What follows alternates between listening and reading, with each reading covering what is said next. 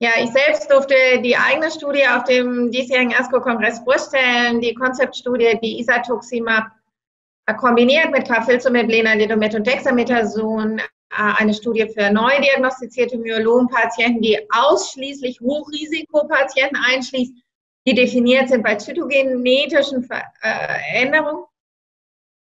Und ähm, dieses Quadruplet-Regime, also aus einem monoklonalen CD38-Antikörper, mit einem Proteasom-Inhibitor, dem Immunmodulator und Dexamethason wird hier für sechs Zyklen einer Induktionstherapie gegeben, vier Zyklen einer Konsolidierungstherapie und die drei neuen Substanzen auch in der Erhaltungstherapie.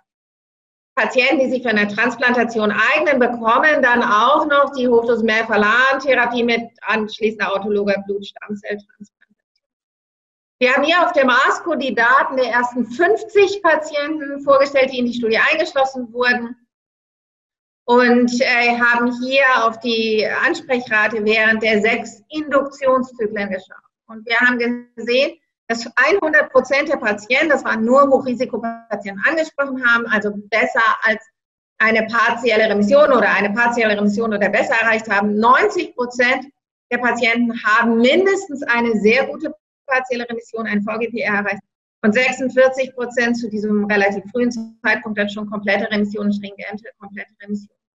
Und wir haben 33 der transplantierbaren Patienten auch hinsichtlich der minimalen Resterkrankung untersucht und haben zu diesem frühen Zeitpunkt 20 MRD-negative Ergebnisse gesehen, also wo eine minimale Resterkrankung nicht mehr detektierbar war. Insgesamt hat die Studie jetzt im April alle 153 geplanten Patienten eingeschlossen. Wir werden natürlich kontinuierlich auswerten und auch die Daten vorstellen, aber wir haben auch von den Kollegen gehört, dass es sehr ermutigende Ergebnisse sind, die wir gesehen haben und ähm, haben uns sehr äh, darüber gefreut, dass wir das hier vorstellen durften.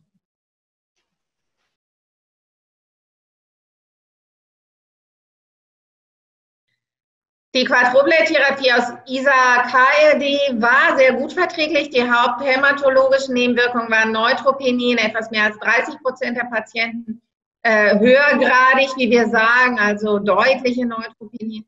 Ähm, die Thrombozytopenien waren selten und ähm, mit 14 Prozent unter 50.000 Thrombozyten. Bezüglich der nicht hämatologischen Nebenwirkungen haben wir auch äh, wenig äh, schwergradige oder höhergradige Nebenwirkungen gesehen.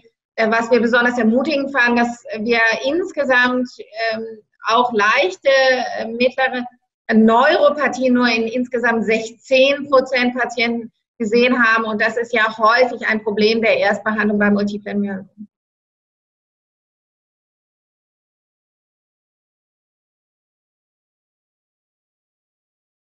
Was die Kosten der Quadruplet-Therapie betrifft, das vermag ich nicht zu beurteilen. Wir sind die behandelnden Ärzte. Wir denken im Moment, dass diese Therapieform Standard werden soll, werden darf, werden wird, werden muss. Denn wir sehen hier erstmals die höchsten Raten für die Negativität, für die minimale Resterkrankung. Wir wissen, dass sich dieses Ergebnis in ein verbessertes Überleben unserer Patienten transportiert. Und das gilt es ja zu erreichen bei multiplen Myelom. Und was dann was rechtfertigt, dürfen andere entscheiden. Wir denken, medizinisch ist es gerechtfertigt, Quadruplet-Behandlung wirklich in der Breite zu etablieren.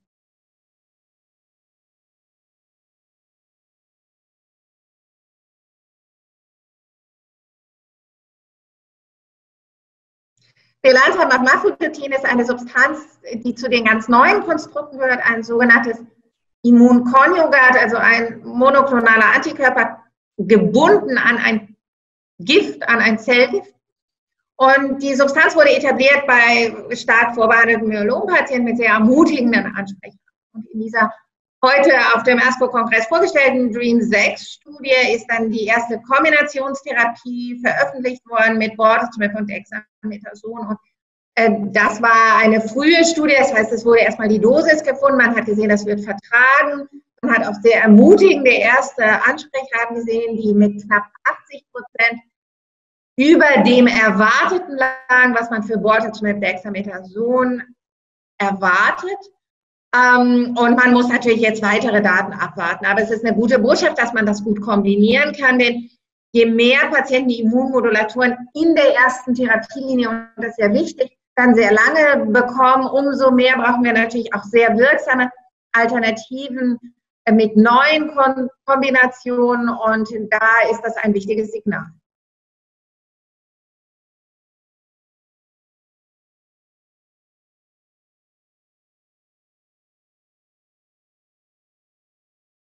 Die Augennebenwirkungen sind was ganz Spezielles bei Belantamab Mafodotin. Das kann sich eben kann zu Hornhautveränderungen führen und das kann zu verschwommen sehen oder unscharf sehen oder ähm, verschlechtertem Sehen führen.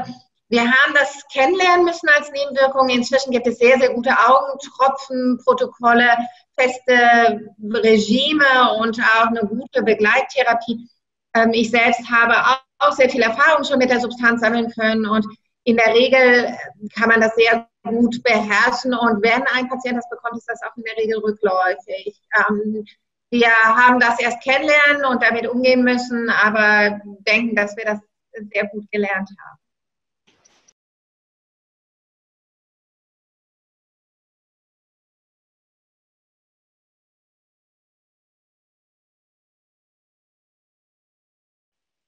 Ja, die Turmalin-Studie hat Ixazomab gegen Placebo getestet. Wir kennen ja die Studie bei transplantierbaren Patienten nach Hochdosis Melphalan, da ist sie auch schon publiziert. Und jetzt war das für die nicht transplantierbaren Patienten, die nur über einen begrenzten Zeitraum ihre Erstlinientherapie bekommen haben und dann auch entweder Ixazomib als Erhaltungstherapie oder halt eben Placebo. Und die Gabe der Erhaltungstherapie mit Ixazomib ist ja eine Tablette, ein Proteasom-Inhibitor, hat zur Reduktion des Risikos für ein Fortschreiten der Myelomerkrankung um 34 Prozent gesorgt. Das war signifikant statistisch. Und das ist ein wichtiges Ergebnis. Im Gesamtkontext ist das natürlich komplex, da die meisten Erstbehandlungen bei nicht transplantierbaren Patienten heute ähm, kontinuierliche immunmodulatorische Kombination mit monoklonalen Antikörpern sind und die Studie sicherlich noch in einer Zeit gemacht wurde, wo diese ganz neuen Therapien noch nicht zur Verfügung standen für alle Patienten in Europa. Also eine Studie, die man in einen gewissen Kontext einsortieren muss.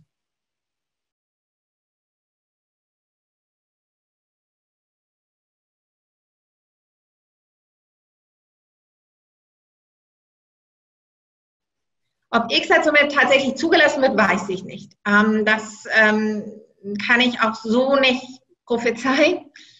Ähm, wir wissen, dass die Daten, obwohl es nicht direkt verglichen wurde, nach der Hochdosistherapie nicht so vergleichbar gut waren wie mit Revlimid.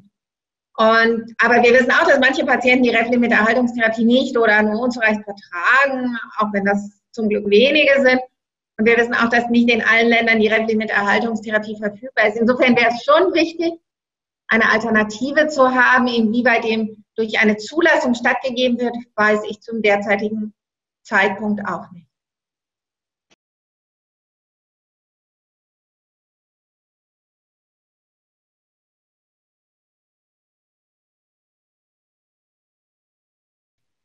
Ja, die neuen Zellmos, also CC480, das wurde hier vorgestellt und auch Iberdomid, sind im Grunde Fortentwicklungen von Thalidomid, Lenalidomid und Pomalidomid. Und nachdem man den Wirkmechanismus besser kannte, hat man noch gezielter Medikamente entwickelt, die noch besser dort anhaften quasi und ähm, daher zumindest theoretisch wirksamer sind, ohne zu mehr Nebenwirkungen zu führen, weil sie spezifischer sind.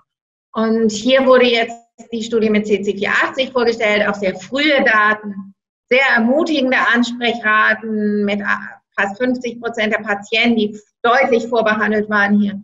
Und auch ein gutes äh, Verträglichkeitsprofil.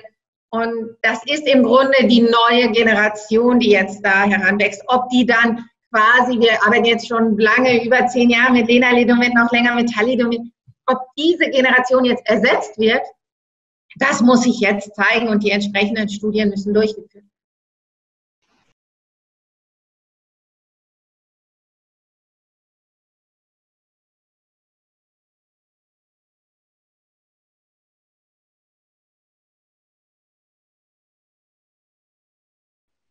Ja, die Boston-Studie ist eine der randomisierten Studien, die hier vorgestellt wurde. Selinexor, auch neues Medikament in Kombination mit Bortezomib, Dexamethason. Einmal wöchentliche Bortezomib gab ich hier gegen das bekannte zweimal wöchentliche Regime über acht Zyklen, gefolgt von einmal wöchentlich im Standardarm. Und hier wurden Patienten ab dem, also erstes bis drittes Rezidiv eingeschlossen, insgesamt etwa 400 Patienten, die randomisiert wurden und der primäre Endpunkt progressionsfreies Überleben wurde erreicht zugunsten der Selenexor-Kombination. Ein Vorteil von knapp 14 Monaten versus 9,5 Monate in etwa im Standardarm. Und das war statistisch signifikant. Und ähm, äh, das ist natürlich eine ganz wichtige Etablierung auch einer neuen Kombinationstherapie. Wir wissen, dass Selenexor Nebenwirkungen addiert. Das hat es auch getan, insbesondere Fatigue und auch Übelkeit. Aber wir wissen jetzt, dass mit dieser einmalwöchentlichen Gabe das wesentlich besser beherrschbar ist als noch in der Zulassung, US-amerikanischen Zulassungsstudie von wir haben aber auch gesehen, dass durch diese einmalwöchentliche Kombination, die ja auch für den Patienten wesentlich einfacher ist, zum Beispiel Nebenwirkungen wie die periphere Neuropathie deutlich und signifikant reduziert werden. Auch das ist eine wichtige Botschaft. Also auch hier wichtiges neues äh, Regime für Patienten, die zum Beispiel in der ersten Therapielinie dann schon die ganzen wirksamen Therapien vielleicht hatten.